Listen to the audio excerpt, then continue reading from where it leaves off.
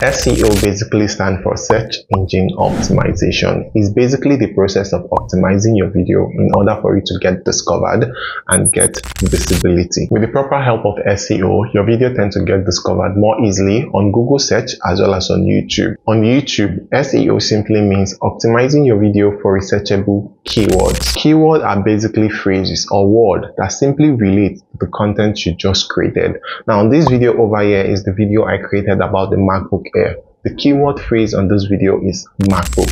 And this video over here is a video I created about how to get cheap data for browsing the internet. The keyword phrase on this video is data. I'm going to be walking you guys through my video optimization process and for all my video optimization process as well as channel management, I love using TubeBuddy and vidIQ. Just in case you're hearing what TubeBuddy or vidIQ is for the first time, this is what helps you in optimizing your video for discovery on Google search as well as on YouTube. And it also helps you in getting views and getting subscribers. And just for clarity purpose, these two app is certified by YouTube. Now, just to show you what I'm talking about, all you just have to do is to go over to your Chrome browser, search for TubeBuddy and install it as an extension.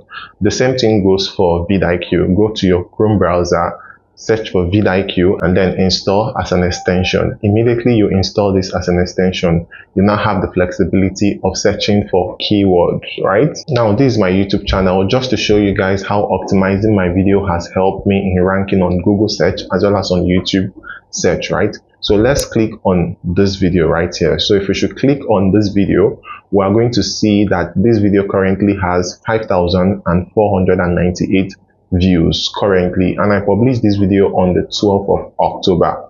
Um, as of when making this video, about three people are currently watching this video right now. You can see that this video has gotten me over 200 plus subscribers. About 212 people click on the subscribe button after watching this video. Now, if we should go over to this video reach, you can definitely see that this video is ranking on Google search, which means about 18% of people that watch this video came from Google search.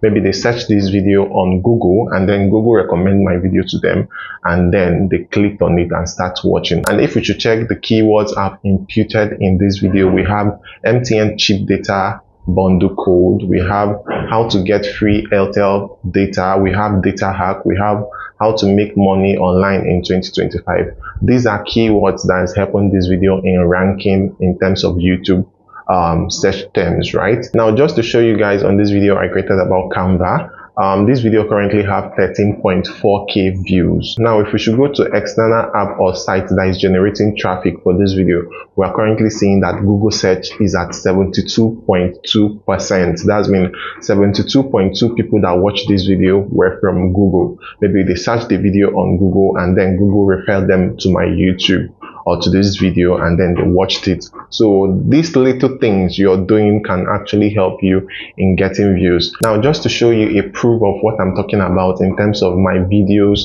are currently showing on Google, I'm going to come here and search for Canva Pro invite link. Let's see if my video is going to get recommended on Google, right? Let's see if that is true.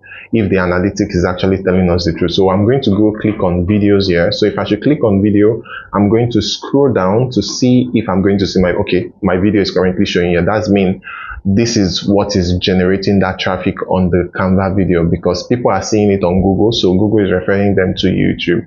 Now, with this alone is because of the optimization I've done on this video. That's why it's being recommended on Google. Just to show you guys one more proof of what I'm talking about.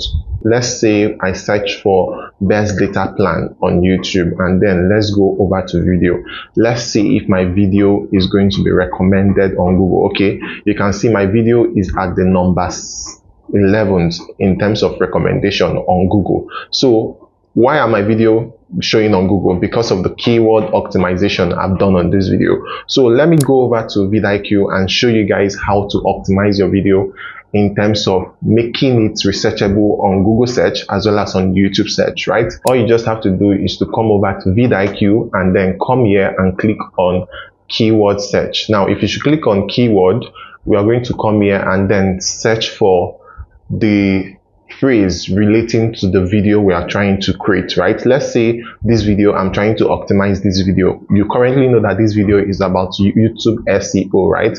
So I'm just going to come over here and search for YouTube SEO so that it's going to show me searchable terms that people are looking for. So I'm just going to click enter. Let's see the volume of people that is searching for YouTube SEO right? So for the volume of people that are searching for YouTube SEO is 1.6 million people, which means if we should create content like this, is going to help us in getting views, right? Um, so all you just have to do now is to check related terms that you're going to be using in your keywords, right? So if you should want to get keywords now, all you just have to do is to come here, click on this, click on this, and click on this. Usually when I'm clicking on um, search volume, I usually like my search volume to be above 60 and above, right? Anything 60 and above will give you a decent amount of um, recommendation on your video. So once you just copy this, so I'm just going to copy this and then place this on my notes, right? Now I've copied that keyword um, phrase I'm going to be imputing on this video, right? Now we can still go back and still search for things relating to um, SEO. So we are going to come here and say SEO for YouTube. Let's see people are searching for SEO for YouTube, right? YouTube. Um, so I'm just going to press enter. Let's see the search volume of people searching for SEO for YouTube is about 50%. This can still work but like I said, I like my search recommendation should be above 60 and above. Anything 60 and above, it will give you a very good recommendation. So we can also come here and set and, and copy this. This is YouTube SEO. This is YouTube keyword search. So I'm just going to copy this as well and see and copy them. So I'm just going to copy them, come over to my note and place this on my note as well and put paste, right? Now with this now, I'm going to be getting a lot of views and a lot of recommendation in terms of Google recommending my videos on YouTube as well as on Google search, right? This is actually time consuming. So you just have to be patient and do this. Optimize your video very well, right? After you're getting like all your keyword search relating to SEO. You might do SEO for 2025. Let's do SEO for 2025. Let's see if that is if people are searching for SEO for 2025. Okay, the search volume, people are actually searching for SEO for 2025. The search volume is currently at 79, right? So I'm just going to come here, copy this, copy, and also go to my notes and then paste this here because people are also searching for SEO for 2025, right? So I'm still going to come here and copy some related keywords. So I'm just going to come here. Like I said, things above 60 will give you a good, decent amount of recommendation. So I'm just going to go over here and paste that as well. So with these keywords you've gotten, you can actually now put this in your video tags, right?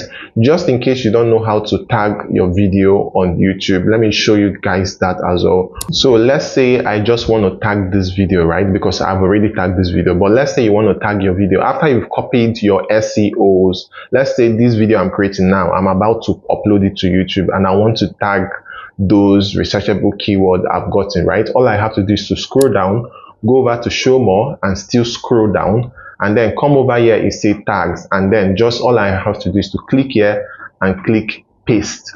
All those tags I've gotten from SEO I'm going to be imputing them on that video about SEO that way when people are going to Google and search for SEO my videos are always going to be getting recommended to them right?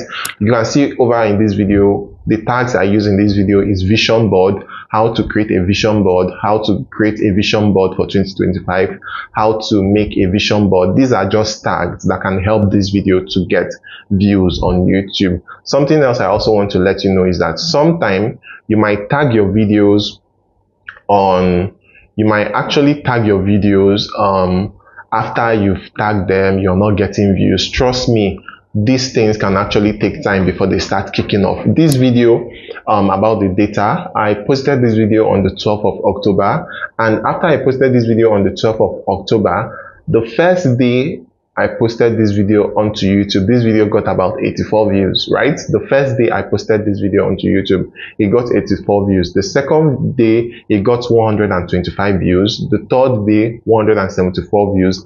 The fifth day, 298 the third the sixth day 365 from there it starts growing. Now it's currently at 5498 views. So sometime you might be feeling that tag doesn't work. Trust me tag work. So the video might take time before they start kicking off, but as long as you have the right tags on them, trust me, those video will kick off. So yeah, that's it about this video. I do not want to waste time on this video. Just in case you're new to this channel, my name is Ikeanyi Nnamdi Precious. Don't forget to click on the subscribe button, join the family, and I'll see you guys in my next one. Feel free to check out any video you can see here, and I'll see you guys in my next one. Bye guys.